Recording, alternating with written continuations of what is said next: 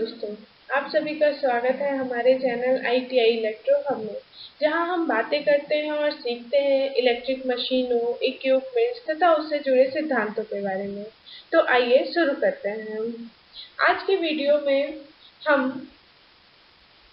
देखेंगे carbon arc lamp, LED, CFL, halogen lamp तथा metal halide lamp के बारे में। ये सारे लैम्प भी बहुत उपयोगी हैं तथा भिन्न भिन्न कार्यों के लिए उपयोग किए जाते हैं।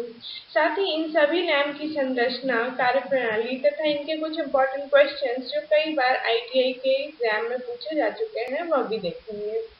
आईटीआई सिलेबस के अनुसार प्रदीप्ति के अंतर्गत आने वाले सभी टॉपिक्स पर हमने वीडियो बनाए हैं। हमारे चैनल पर ये सारे वीडियो आपको मिल जाएँगे। जिन्होंने वो वीडियो अभी तक नहीं देखे हैं, वह उन्हें ज़रूर देख लें।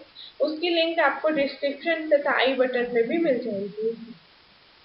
तो आइए शुरू करते हैं आज का टॉपिक सबसे पहले हम देखेंगे carbon arc lamp carbon arc lamp जैसा कि चित्र में हमें दिखाई दे रहा है, कार्बन आर्क लैंप में दो इलेक्ट्रोड होते हैं, जो कि एक दूसरे से 0.6 सेंटीमीटर की दूरी पर रखे जाते हैं। जब हम इस लैंप में डीसी सप्लाई का उपयोग कर रहे होते हैं तो इस लैंप में उपयोग होने वाला धनात्मक इलेक्ट्रोड की मोटाई ऋणात्मक इलेक्ट्रोड से दोगुनी रखी जाती है। और जब यही लैंप हम एसी सप्लाई के साथ उपयोग करते हैं तो दोनों इलेक्ट्रोड की मोटाई हमें समान रखनी होती है। आइए, अब हम कार्बन आर्क लैम्प की कार्यप्रणाली देखते हैं। डीसी वोल्टेज प्रदान करने पर दोनों इलेक्ट्रोड के मध्य आर्क उत्पन्न होता है और लैम्प प्रकाशित होने लगता है। उत्सर्जित किए हुए प्रकाश का पचासी परसेंट भाग धनात्मक इलेक्ट्रोड से 10 परसेंट भाग ऋणात्मक इलेक्ट्रोड से तथा केवल 5 परसेंट भाग आर्क से, आर्क द्वारा उत्पन्न किया जाता है। धनात्मक इलेक्ट्रोड पर उत्पन्न ऊष्मा अधिक होती है, क्योंकि ऋणात्मक आयन हल्के होते हैं, जिस कारण वह तेज़ी से धनात्मक इलेक्ट्रोड से टकराते हैं। धनात्मक इलेक्ट्रोड का तापमान 3500 डिग्री से 4000 डिग्री सेल्सियस होता है, जबकि ऋणात्मक इलेक्ट्रोड का तापमान 2500 डिग्री सेल्सियस होता है। कार्बन आर्क लैम्प की प्रदीप्ति दक्षता 20 ल्यूमेन प्रति वॉट होती है, तथा इस आर्क लैंप का उपयोग सिनेमा प्रोजेक्टर सर्च लाइट में किया जाता है। आइए, अब हम हेलोजन लैम्प के बारे में देखते हैं। यह एक इनकेंडिसेंट लैम्प का ही प्रकार होता है। हेलोजन लैम्प आकार में बहुत छोटे होते हैं, लेकिन बहुत उच्च दक्षता के होते हैं और दुधिया सफ़ेद रंग का प्रकाश उत्सर्जित करते हैं। उच्च ताप और उच्च दाब पर कार्य करने हेतु इन्हें क्वार्ट्ज के कांच का आवरण में बनाया जाता है। ट्यूब के अंदर उच्च दाब पर हेलोजन गैस भरी जाती है। आइए, अब हम हेलोजन लैम्प की कार्यप्रणाली देखते हैं। हेलोजन लैम्प टंगस्टन हेलोजन पुनर्जनक सिद्धांत पर कार्य करता है।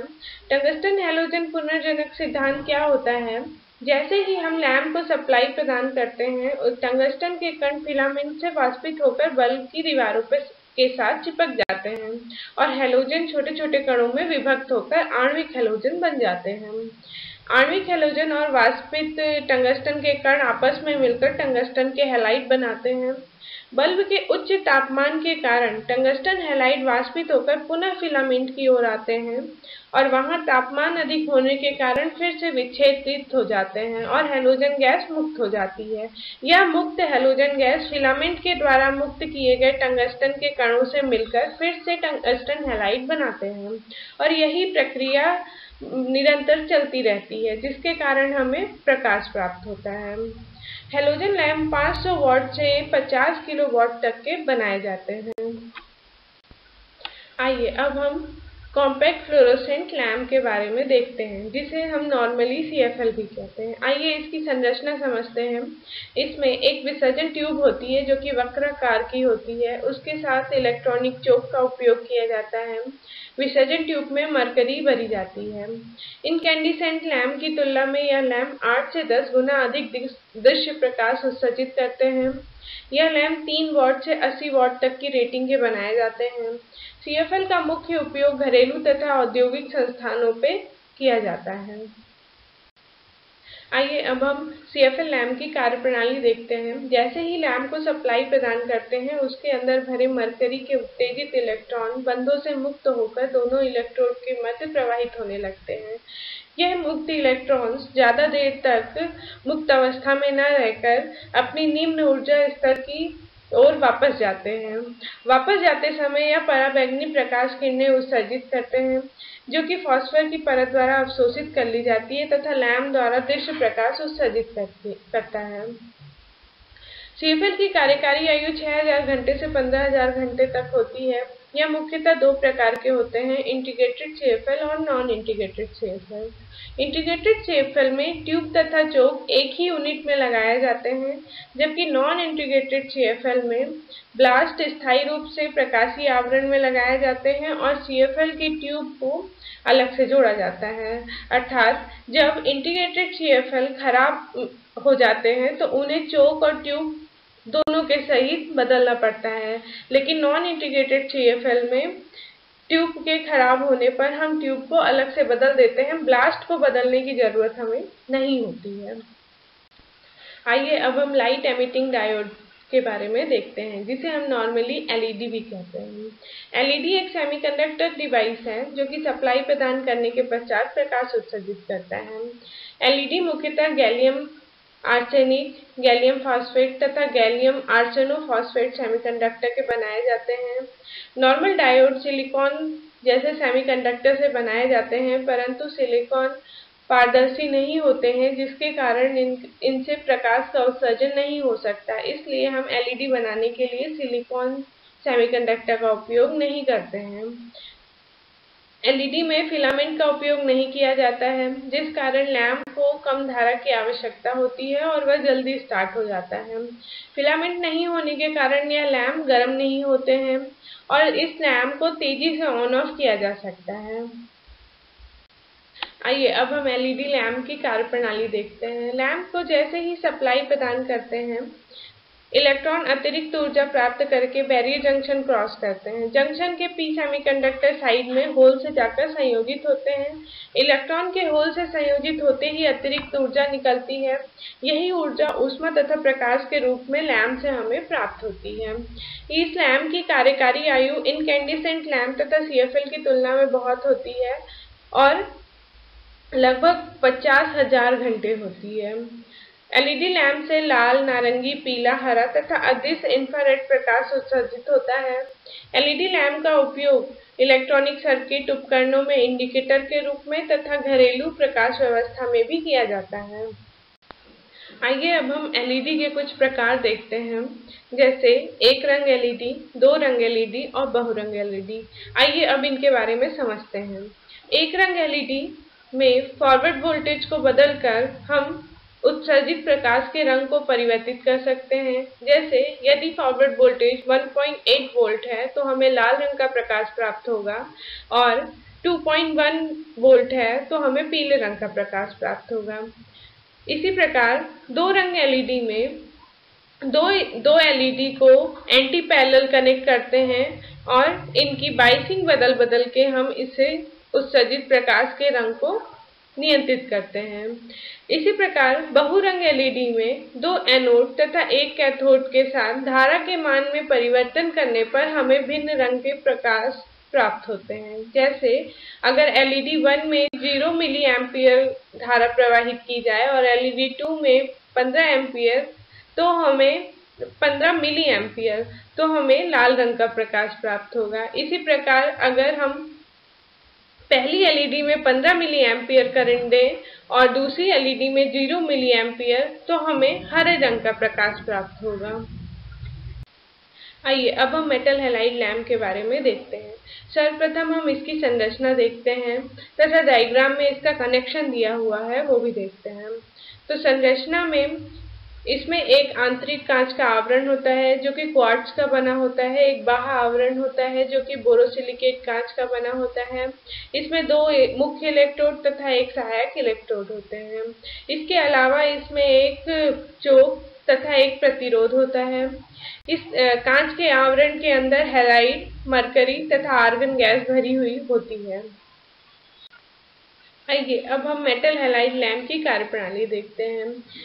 सर्वप्रथम लैंप में सहायक इलेक्ट्रोड और एक मुख्य इलेक्ट्रोड के मध्य वोल्टेज प्रदान किया जाता है, जिसके कारण इनके मध्य आर्क उत्पन्न हो जाता है और लैंप का तापमान बढ़ने लगता है। तापमान बढ़ने से मरकरी का वाष्पीकरण प्रारंभ हो जाता है। जब मरकरी का पर्याप्त वाष्पीकरण हो जाता है तो दोनों मुख्य इलेक्ट्रोड के मध्य विसर्जन प्रक्रिया प्रारंभ हो जाती है, तथा लैंप पूर्ण प्रकाश उत्सर्जित करने लगता है। लैंप के चालू होने के बाद, सहायक इलेक्ट्रोड के श्रेणी में उच्च प्रतिरोध जुड़े होने के कारण, सहायक इलेक्ट्रोड में धारा का मान कम हो जाता है और वह परिपथ से बाहर हो जाता है। लैम्प में उपयोग किए जाने वाले हेलाइट सोडियम थैलियम तथा स्कैंडियम डिस्प्रोसियम आयोडाइड का मिश्रण होते हैं। मेटल हेलाइड लैम्प का कार्यकारी तापमान 1000 डिग्री सेंटीग्रेड होता है तथा इसका कार्यकारी दाब तीन से चार वायुमंडलीय दाब होता है। अभी तक हमने carbon arc lamp LED CFL halogen lamp तथा मेटल हेलाइड लैम्प की संरचना और कार्यप्रणाली देखी। आइए अब उससे जुड़े कुछ इंपॉर्टेंट क्वेश्चंस देखते हैं, जिसमें पहला है मेटल हेलाइड लैम्प का बाह्य आवरण बोरोसिलिकेट कांच का क्यों बना होता है? ऑप्शन है ए प्रकाश प्रभाव बढ़ाने के लिए बी बाहरी तापमान को सहने के लिए सी वायुमंडलीय दाब सहने के लिए डी लैम्प से पराबैंगनी विकिरण कम करने के लिए। इसका सही आंसर है ऑप्शन डी लैम्प से पराबैंगनी विकिरण कम करने के लिए। नेक्स्ट क्वेश्चन है कार्बन आर्क डीसी लैंप में इलेक्ट्रोड का व्यास होता है ऑप्शन है ए धनात्मक इलेक्ट्रोड मोटा बी ऋणात्मक इलेक्ट्रोड मोटा सी धनात्मक इलेक्ट्रोड पतला डी दोनों समान मोटाई के। इसका सही आंसर है ऑप्शन ए धनात्मक इलेक्ट्रोड मोटा। नेक्स्ट क्वेश्चन है सीएफएल की कार्यकारी आयु होती है ऑप्शन है ए 2500 से 12000 घंटे बी 4000 से 13000 घंटे सी 6000 से 14000 घंटे, डी 6000 से 15000 घंटे। तो इसका सही आंसर है ऑप्शन डी 6000 से 15000 घंटे। नेक्स्ट क्वेश्चन है एलईडी फ्लड लाइट का शक्ति गुणक होता है। ऑप्शन है A one B zero point six C zero point eight D zero point nine five इसका सही आंसर है option D zero point nine five next question है, इनमें से कौन सा फॉरवर्ड वोल्टेज एक रंग एलईडी का है जो लाल रंग उत्सर्जित करता है? ऑप्शन है A 2.2 volt B 2.1 volt C 2 volt D 1.8 volt इसका सही आंसर है ऑप्शन डी 1.8 वोल्ट नेक्स्ट है सीएफएल लैम्प तापमान के प्रति डैश डैश डैश होता है। ऑप्शन है ए गर्म बी संवेदनशील सी खराब डी इनमें से कोई नहीं। इसका सही आंसर है ऑप्शन बी संवेदनशील। नेक्स्ट क्वेश्चन है हेलोजन लैम्प उपयोग किया जाता है। ऑप्शन हैं ए हवाई अड्डे बी रेलवे स्टेशन सी प्रदर्शनी डी सभी। इसका सही आंसर है ऑप्शन डी सभी जगह। नेक्स्ट क्वेश्चन है हेलोजन लैम्प के अंदर भरी जाने वाली गैस होती है। ऑप्शन है ए निष्क्रिय gas B halogen gas C दोनों डी इनमें से कोई नहीं। तो इसका सही आंसर है ऑप्शन सी दोनों। नेक्स्ट क्वेश्चन है कार्बन आर्क लैंप में एयर गैप होता है dash dash dash centimetre option है A 60 centimetre B 6.0 centimetre C 0.6 centimetre D इसका कोई निश्चित मान नहीं होता है। तो इसका सही आंसर है option C 0.6 centimetre next question है एलईडी की कार्यकारी आयु सीएफएल तथा फिलामेंट लैम्प की तुलना में डैश डैश डैश होती है। ऑप्शन है ए अधिक बी कम सी समान डी इनमें से कोई नहीं। तो सही आंसर है ऑप्शन ए अधिक। नेक्स्ट क्वेश्चन है सीएफएल द्वारा इनकेंडिसेंट लैम्प की तुलना में कितने गुना प्रकाश उत्सर्जित किया जाता है? ऑप्शन है ए 11 से 20 बी 10 से 20 सी 7 से 10 डी 8 से 10 इसका सही आंसर है ऑप्शन डी 8 से 10 गुना। नेक्स्ट क्वेश्चन है फ्लोरोसेंट ट्यूब को केवल सरल रेखीय अथवा वित्तीय आकार का बनाया जा सकता है। ऑप्शन से ए सत्य बी असत्य सी किसी भी आकार का बनाया जा सकता है। डी इनमें से कोई नहीं। तो ऑप्शन से सही ऑप्शन है इसका ए सत्य। ये सभी क्वेश्चंस बहुत इंपॉर्टेंट हैं। आप सभी ने ध्यान में रखें। अब तक हमने प्रदीप्ति से संबंधित सभी टॉपिक देखे हैं, जो कि आपको हमारे चैनल में प्लेलिस्ट में मिल जाएँगे। आप सब उसे ज़रूर देखें। अगले वीडियो में हम मापक यंत्र के बारे में देखेंगे। आज का वीडियो अगर आपको पसंद आया हो तो उसे लाइक करें। टॉपिक से संबंधित कोई भी डाउट हो तो आप कमेंट सेक्शन में कमेंट करके हमसे पूछ सकते हैं। आईटीआई इलेक्ट्रीशियन से संबंधित और वीडियोस देखने के लिए हमारे चैनल आईटीआई इलेक्ट्रो हब को सब्सक्राइब करिए। Thank you